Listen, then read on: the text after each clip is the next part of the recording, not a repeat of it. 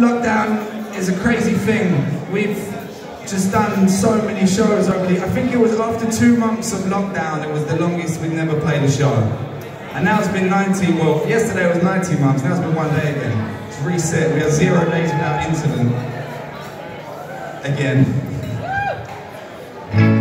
But we have been working on new music. I'll be more specific.